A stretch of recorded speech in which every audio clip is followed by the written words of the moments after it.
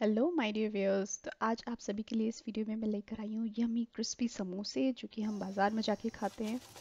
और अगर घर में हमें इतनी क्रिस्पी समोसे मिले तो क्या कहने देखिए, कितने खस्ता का समोसे हैं और जो कि सुपर टेस्टी हैं, एकदम क्रिस्पी हैं ऊपर से। स्टफिंग भी एकदम ज़बरदस्त है। चलिए, बिना किसी देरी के आप कुछ दिखाते हैं, कैसे बनाते हैं समोसे की रेसिपी तो यहाँ पे मैंने एक परात ले ली है प्लेट ले ली है, उसमें डेढ़ कप मैदा लिया है 1.5 कप और साथ में मैंने सॉल्ट लिया है वन टीस्पून और अजवाइन, जैसे कैरम सीड्स कहते हैं, उसको मैंने हाथ से क्रश करके और तब डाला है। देखिए इस तरह से डालेंगे आप। क्रश करके डालते हैं ना तो बहुत अच्छा स्वाद आता है और टेस्ट अच्छा हो जाता है अरोमा और साथ में मैंने यहाँ पे ऑयल लिया है, जो कि करीब फाइव टू सिक्स छोटे वाले जो स्पून होते हैं, आप वो लीजिए, या फिर tablespoon two tablespoon के करीब लगेगा आपका। अब हम इसको अच्छे से मिक्स कर लेंगे आपस में सब। सॉल्ट अजवाइन, आटे में अच्छे से इसको दोनों हाथ से रब करके। और बेसिकली हमारी ना एक मुट्ठी सी बननी चाहिए। देखिए इस तरह से। ये पहली टिप है आपकी कि जिससे समोसे खस्ता बनने के लिए, एकदम क्रिस्पी बनने के लिए आपकी जितना क्रिस्पी आप चाहेंगे तो अच्छे से बिल्कुल मुट्ठी बनी चाहिए। आगे भी मैं आपको वीडियो में बताती रहूँगी और टिप्स बिल्कुल वैसी क्रिस्पी बाज़ार जैसी समोसे कैसे आप बनाएँ घर पे आसानी तरीके से। तो आप मेरा पूरा वीडियो देखिएगा एंड तक। दूसरी टिप है कि हम जो आटा लगाएँ इसका तो टाइट लगाना है हमें और बहुत देर तक इसको मारना है, बहुत देर तक इसको सो करना है। जितना आप अच्छे से करेंगे, हमारा आटा बेसिकली प्रेस होने के बाद तुरंत वापस ऊपर आना चाहिए। अब यहाँ पे मैंने आलू की स्टफिंग बना लूँगी, जितनी देर में आटे को सेट करने रखा है। करीब आधे घंटे तक में रखना है। पैन में थोड़ा सा ऑयल लिया है और उतनी देर में, जितनी देर में ऑयल गर्म हो रहा है, उतनी देर में मैं आलू को फोड़ लूँगी। नाइफ़ का यूज़ नहीं करना है मेरे को, क्योंकि थोड़ा सा समोसे में जो स्टफिंग होती है ना थोड़े से मैश्ड होते हैं थोड़े से पीसेस में आते हैं तो बिल्कुल वैसी मार्केट जैसा टेस्ट चाहिए। अब यहाँ पे तेल गर्म हो गया है तो यहाँ पे मैंने ज़ीरा, करीब one teaspoon coriander powder लिया है two teaspoon chaat masala और रेड चिली पाउडर लिया है, जो कि तीखी वाली और कलर वाली दोनों हैं। आप चाहें तो इसमें थोड़ी सी अदरक ग्रेट करके और गरम मसाला भी ऐड कर सकते हैं। अब इन सबको मिक्स कर ले जल्दी से और अब हम अपना जो आलू का हमने स्टफिंग बनाई है ग्रेटेड आलू, वो हम डाल देंगे, जो हाथ से हमने उसको फोड़ा है और जल्दी से उसको मिला देंगे, जिससे कि हमारे आलू मसाले जले नहीं और फिर साथ में हम सॉल्ट डालेंगे टेस्ट के अकॉर्डिंग और फिर उसको मिक्स कर लेंगे। और धनिया की पत्ती थोड़ी सी हरा धनिया गार्निश के लिए आप चाहें तो इसमें कैशू भी डाल सकते हैं, पीनट्स भी डाल सकते हैं, जैसा भी आपको टेस्ट है, जो भी आपकी चॉइस हो। या अगर आपके पास ग्रीन पीस हो तो वो भी बहुत टेस्टी लगते हैं, मेरे पास नहीं। अदरवाइज़ समोसे में मटर के साथ बहुत अच्छे लगते हैं। अब जब ये स्टफिंग ठंडी हो जाए, फिर हम इसको एक बाउल में ट्रांसफ़र कर लेंगे और इसको ठंडा होने रख देंगे।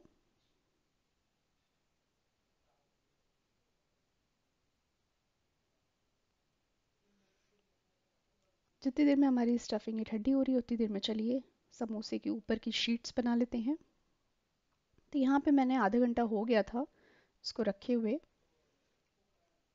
अगर आपके पास ज़्यादा टाइम नहीं है, पंद्रह मिनट भी होता है तो भी आप रख लीजिए, लेकिन कोशिश करिए, अगर आधा घंटा रख देंगे तो बहुत अच्छे से सेट हो जाता है हमारा डो अब हम इसको अच्छे से रोल करके, हम इसको पीसेस में कट कर लेंगे।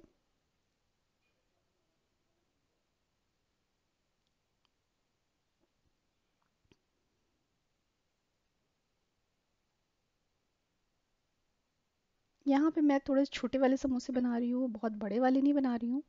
क्योंकि अब घर में बना रहे हैं तो अपने टेस्ट के अकॉर्डिंग और साइज़ के अकॉर्डिंग छोटे छोटे समोसे खाने में भी अच्छे लगते हैं। तो अगर आपको बड़े बनाने हैं तो वही प्रोसेस रहेगी। बस आप थोड़ी बड़ी लोई ले लीजिएगा इसकी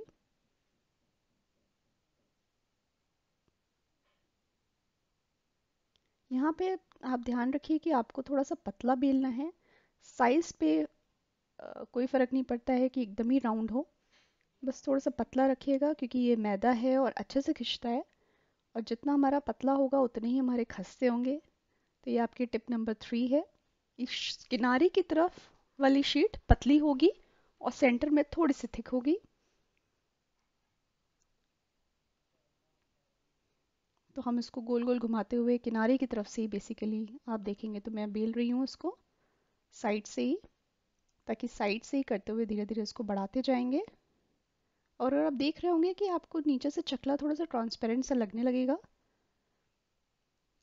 अब इसी तरह से हम सारे अपने बना के रख लेंगे। ताकि हमारा समोसे बनने में बहुत टाइम ना लगे। अगर आप इस तरह से इसको बेल के और शेप दे के रख लेंगे ना तो ज़्यादा प्रोसेस में लंबा टाइम नहीं लगता है और आसानी से बन के रख जाता है। देखिए, इतना पतला हो।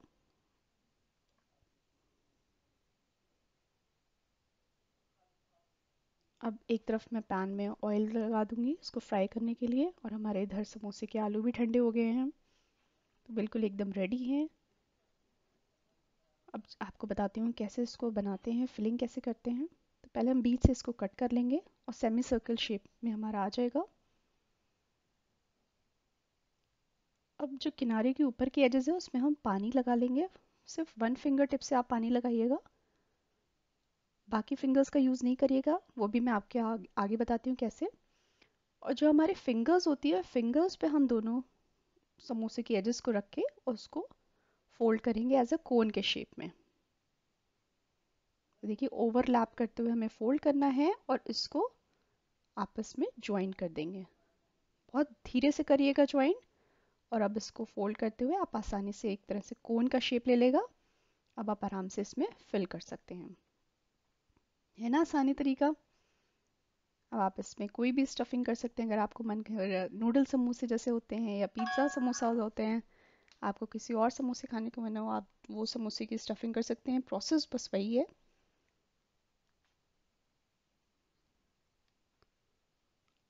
अब यहाँ पे हमारा फिलिंग हो गई है, अंदर स्टफ़ कर दिया है। रिंग फिंगर की हेल्प से, अब हम किनारे के वाटर से ही किनारे की तरफ़ लगा देंगे, जिससे अब हम इसको स्टिक करेंगे आपस में। ध्यान रखिएगा, हमें जो ऊपर की तरफ़ जो ज्वाइन करना है, वो रिंग फिंगर की हेल्प से हम पानी लगाएँगे और फिर इसको थंब और फ़र्स्ट फिंगर की हेल्प से हम इसको दबाते जाएँगे। बहुत जेंटली दबाना है और नीचे भी अच्छे से कर देंगे इसको, ताकि हमारे पॉइंट्स पे अच्छे से जॉइंट्स हो जाएँ, अच्छे से खुले नहीं। वरना हमारा ऑयल गंदा हो जाएगा, अगर हमारी खुल जाएगी स्टफिंग बाहर निकल आएगी। तो देखिए, कितने आसानी तरीका है ना समोसे बनाने का। दूसरा भी हम ऐसी इसी प्रोसेस से बना लेते हैं।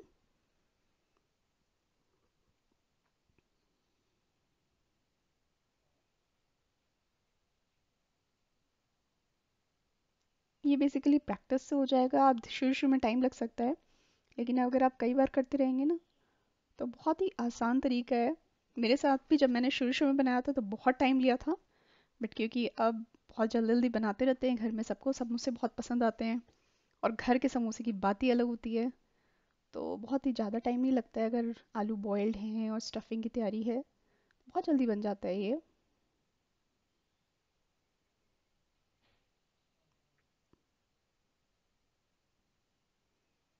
देखिए, इसको जेंटली फिल करके आप बहुत आराम से भर देंगे इसमें तो खुलने का भी डर नहीं है। शीट आप जैसे कि मैंने बताया फ़र्स्ट थम और दिस फिंगर को लेते हुए आप इसको प्रेस करेंगे तो आराम से इसके जॉइंट हो जाएँगे, आराम से इसमें स्टिक हो जाएगा और फिर आपका खुलेगा नहीं। और अगर कहीं भी खुल रहा है, आपको लग रहा है तो बस वहाँ पे जेंटली आप इसको सील कर सकते हैं। जैसे मेरा यहाँ पे मुझे लगा कि थोड़ा सा खुल रहा है तो मैंने हल्के हाथ से इसको प्रेस कर दिया। और बेसिकली हमें इसको सब तरफ़ से सील करना है। इसको ओवरलैप करते हुए हम इसको डो को कवर कर देंगे। इसी तरह से मैंने अपने सारे समोसे की फिलिंग करके इसको बना लिया है।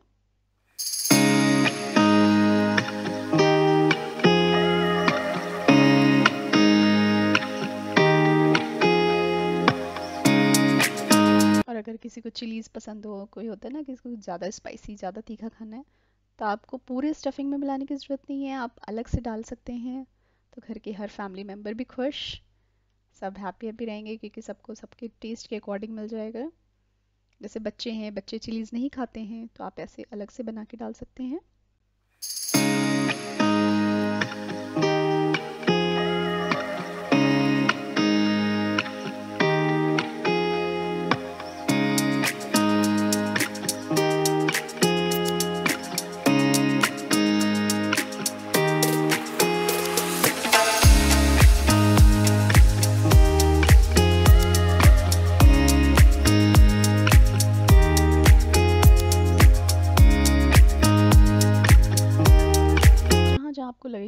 खुल रही है, जहाँ जहाँ पे लगे आपको थोड़ा सा अच्छे से नहीं हो रहा है तो वहाँ पे आप हल्के हाथ से, अगर आपको लगे तो आप थोड़ा सा पानी का हाथ लगा लीजिए वहाँ पे, और उसको बंद कर दीजिए, या अच्छे से प्रेस कर दीजिए। स्टफिंग बेसिकली आपके अंदर की तरफ़ दबनी चाहिए तो आपका हो जाएगा। अब इस तरह से मैंने सारे अपने बना के रख लिए हैं।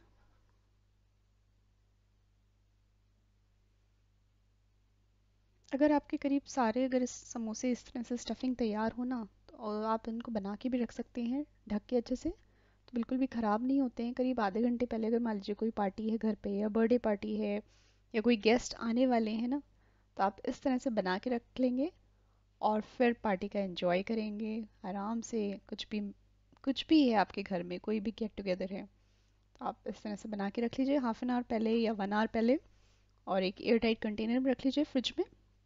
और फिर गर्म गरम सेकिए। तो एकदम फ्रेश घर के गरम, गर्मा गर्म समोसे बन के तैयार।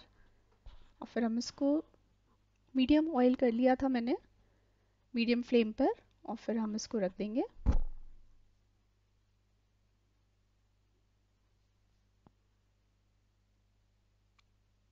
करीब फाइव मिनट्स लगेंगे समोसों को अच्छे से सीखने में। इससे अंदर तक अच्छे से सीख जाएँगे। इस पूरी प्रोसेस को बनने में करीब मुझे आधा घंटा लग गया था थर्टी थर्टी मिनट्स के करीब।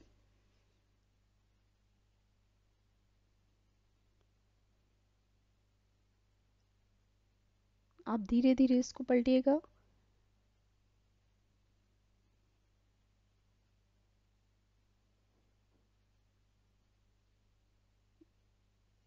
इसको आप मीडियम टू हाई फ्लेम बीच में करते रहें और फिर जब आप देखें कि थोड़ा सा साइड से कलर चेंज हो रहा है नीचे की तरफ़, बस पलट के देखते रहें। और बस कुछ ही मिनट्स में हमारे घर के बने हुए समोसे एकदम रेडी हो जाएँगे।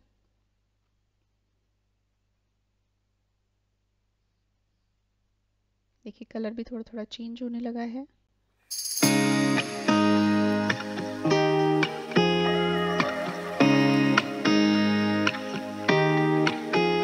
अगर आपको और क्रिस्पी चाहिए, थोड़ा सा डार्क चाहिए तो आप थोड़ा देर तक उसको फ्राई कर लीजिए। समोसे हल्का सा रोस्टेड ज़्यादा अच्छे लगते हैं, हल्के से फ्राइड हो। तो बस मैं निकाल रही हूँ उसको अब।